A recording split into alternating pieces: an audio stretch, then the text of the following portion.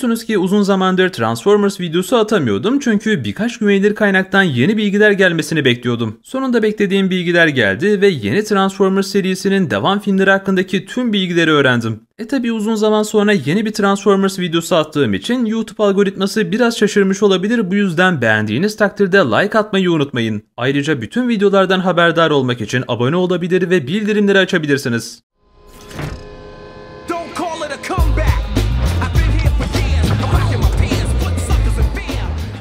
Transformers Rise of the Beast filmi serinin en düşük hasılat yapan filmi olarak tarihe geçti. Yapımcılar bu filmle birlikte gerçekten her anlamda çuvalladılar ve artık seriye yeniden heyecan katmak istiyorlar. Bir zamanlar bana abi robotların görüntüleri çok iyi, orijinale benziyor diyenler de umarım artık gerçekleri görmüşlerdir. Çünkü mesele orijinal görüntü değil, bu filmlerin olayı kar elde etmek. Yani eğer kar elde edemezlerse o zaman seriye devam edemeyecekler demek oluyor. Peki kar elde etmek için ne yapmaları gerekiyor? Destansı bir hikaye yazmaları ve epik karakterleri kullanmaları lazım. Elbette bu zarardan sonra Transformers serisinin reboot yeme olayından vazgeçmediler. Yani ilk 5 filmin devamında gelen Unicron meselesine geri dönmek gibi bir niyetleri yok. Transformers serisi basbayağı reboot yedi ve yeniden başlatıldı. Gelecekte yaşanan olaylara bağlanıp bağlanmayacağı ise henüz belli değil. Şimdi Paramount yapımcıları bütün robotların yer aldığı bir filmden ziyade Transformers Bumblebee serisiyle devam edecekler. Bumblebee'nin ikinci filmiyle birlikte yeniden seyirciyi ekrana çekmek istiyorlar. Ancak benim son aldığım bir bilgiye göre Bumblebee'nin ikinci filmi gelmeyecek.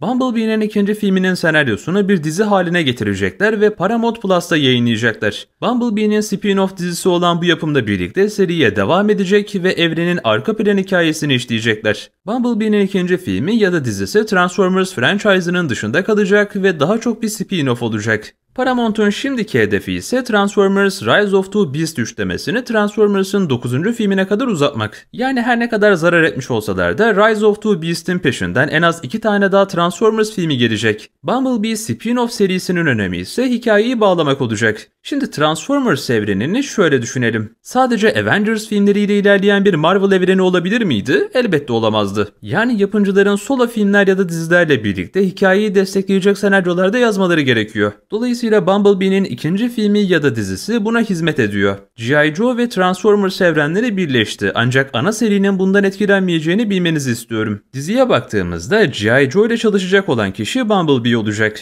Yani Bumblebee dizisinde G.I. Joe'nun Bumblebee ile birlikte görevlere çıkacağını ve dünyada saklanan Decepticonlarla mücadele edeceğini gösterecekler. Bu seride tanıtılan Decepticonların yanında serinin sonunda baş düşman olan Megatron geri dönecek. Biliyorsunuz ki Megatron ilk Transformers filminden bu yana hiçbir filmde baş düşman olmadı. Megatron'u Decepticonların lideri olarak gösterip her zaman arka plana atmışlardı. Bu yüzden Transformers serisinin 8. filminde yani Rise of the Beast'in devamında Megatron'u getirecekler. 8. film için Megatron'un arka planda olmayacağını ve direkt olarak filmin baş düşmanı olacağını çok iyi biliyoruz. Yapımcılar Bumblebee'nin ikinci filmiyle elde edecekleri hype'ı kullanarak Transformers Rise of the Beast'in devam filmine referans verecekler. Rise of the Beast filminde yaptıkları hatanın aksine daha çok bilinen bir düşmanı kullanacaklar. Bu sayede Paramount yapımcıları Megatron ve Optimus'u kapıştırıp yeniden kitleyi toplamayı planlıyorlar. Transformers'ın bütün filmlerini bir seri olarak düşünürsek 8. film olarak Rise of the Beast'in devam filmini düşünebilirsiniz. Bumblebee'nin ikinci filmi bir spin-off olacak ancak bunu dizi şeklinde Paramount Plus'ta yayınlama ihtimalleri çok yüksek. İşte bu yüzden video boyunca Bumblebee'nin ikinci filmini franchise'ın film evreni dışında kabul ettim.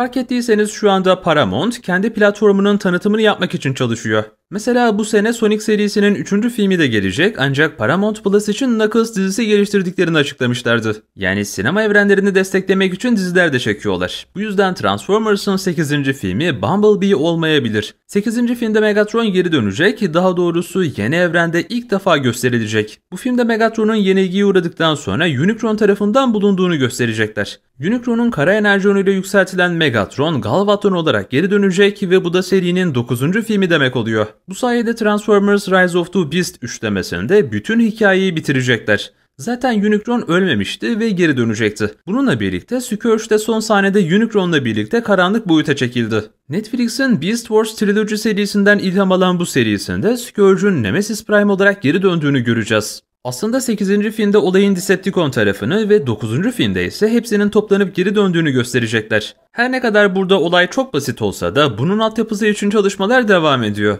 Megatron'un yine tek bir filmde harcanıp bir yancı olarak geri dönmesine bam gün patlayanlar olduğuna fazlasıyla eminim. Ama serideki düşman çoğunluğu ve çeşitliliğini artırmak için bunu yapmaları şart. Megatron tek bir filmde harcansa da üçüncü filmde hepsi geri dönecek. E tabi bu durumda Optimus Prime'ın da yeni müttefikler bulması lazım. Paramount dizileriyle birlikte evrene Sentinel Prime ve Ultra Magnus gibi karakterleri de dahil edecekler. Yani bir nevi yapımcılar filmleri daha iyi anlamak istiyorsanız bizim dijital platformumuza da bekleriz diyorlar. Paramount Plus Türkiye'ye girmek için çalışmalara devam ediyor. Yani yakın zamanda onları da Türkiye'de görebileceğiz. Ama bir yandan da insanların isyan edeceğini düşünüyorum. Her ay bir dijital platforma para ödeseniz bu gidişle ay sonunda elinizde para kalmayacak. Dijital platformların sayısı çok arttı ama ben genelde hiçbir platformu bir senelik satın almıyorum. Bir aylık abonelik alıp bütün izlenebilir içerikleri bitirip üyeliğimi iptal ediyorum. Tabi bu tür platformların Türkiye'ye gelmesi neden önemli derseniz de dil desteği açısından fazlasıyla önemli. Mesela Monarch Legacy of Monsters çıktı ama bana gelip dublaj yok mu diyorlar. Eğer Türkiye'de uzun süre Apple TV Plus olsaydı ki daha yeni geldi muhtemelen bir stüdyo ile anlaşıp dublaj ekleyeceklerdi. Yani Türkiye'ye gelen platformlarda genelde dil desteğini kullanıyorlar. Bu yüzden Paramount'un Türkiye'ye gelmesi aslında bir noktada fazlasıyla önemli. Çünkü Transformers evreni için sadece bir tane dizi gelmeyecek. Bu franchise'ın 9. filmine kadar dizilere ve spin-off'lara devam edecekler. Yeni filmler hakkında bir gelişme ve tarih bekleyenler varsa da 2025 yılında 8. filmin ve 2027 yılında da 9. filmin geleceğini söylüyorlar. Elbette bu grevlerden önce verilen bir tarihti yani kafadan bir sene daha ekleyebilirsiniz. Bu durumda 2026 ve 2028 yıllarında serinin son iki filminin gelmesi mümkündür. Biliyorsunuz ki Transformers'ın ilk üçlemesinde her iki senede bir yeni film geliyordu. Yani şu anda Paramount için 2025 yılında yeni bir film çıkarmak zor sayılmaz. Teknoloji o zamandan bu zamana kadar manyak derecede gelişti. Zaten Transformers Rise of the Beast'in görsel efektleri ilk üç filmin görsel efektlerinin yanından bile geçemez. 2023 yılında çıkan Transformers Rise of the Beast filminden 2 sene sonra bir devam filmi gelmesi benim için şaşırtan bir gelişme olmazdı.